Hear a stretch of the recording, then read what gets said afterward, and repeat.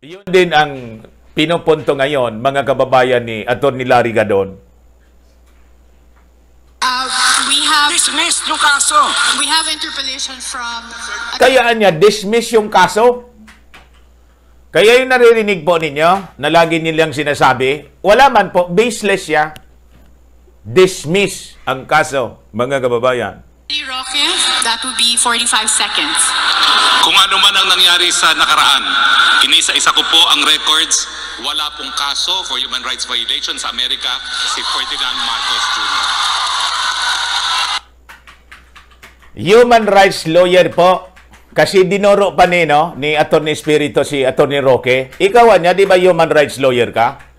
Dati niya, ah, kontra ka. You are for, ano, you are for ah, ah, the human rights victims. Nakasama ka lang anya dyan sa unity. Kumampi ka na niya kay ah, Bongbong Marcos.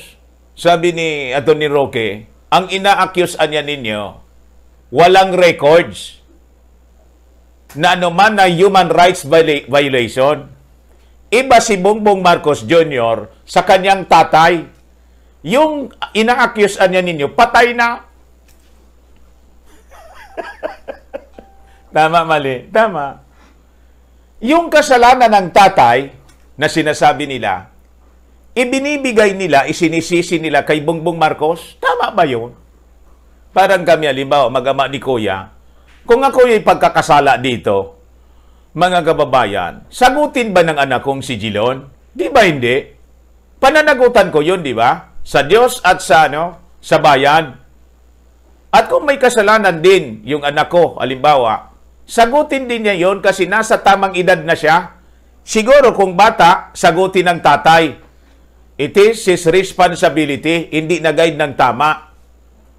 Pero pag nasa grown up na po, may responsibilidad na ang bawat isa. In in fact, sa Diyos mga kababayan, kaya nga po ang salvation po. Ito hindi maintindihan itong mga ulupong na to. Sa salvation po, mga kababayan, individual yon. You have to ask for forgiveness on your own. Hindi pwede yung kasalanan ni Kuya, ingi ko ng tawad sa ating Panginoon at papatawarin siya. Hindi pwede yon. Siya yung nagkasala. In like manner, ako, ganun din. Hihingi ako personal ng ah, tawad sa ating Panginoon kasi personal ko din po yon na, na pagkakasala. At ang pagligtas, personal, mga kababayan. Kaya nga, ang ating Panginoon, personal Lord and Savior, you will be saved individually. Kahit anak ka pa ng pastor, pag hindi ka nagtiwala sa pagliligtas, kaligtasan pala, na inoffer ng Diyos sa pamamagitan ng kanyang anak, hindi ka maliligtas. Kahit tumira ka pa diyan sa church. Tama, mali. Ganon din po dito ang base. Kasalanan ng ama, kasalanan niya. Kasalanan ng anak, kasalanan niya. Di mo pwedeng isisi ang kasalanan ng anak o ng kasalanan ng ana- ama sa anak. Yon ang gusto nilang mangyari. Mga bugok, bugok, bulok ang pag-iisip. Yun po ang totoo niyan. So tama si Harry Roque dito. Isinisisi ninyo anya yung kasalanan kay Bongbong. Ang may sala na sinasabi ninyo, yung tatay, patay na yung tatay.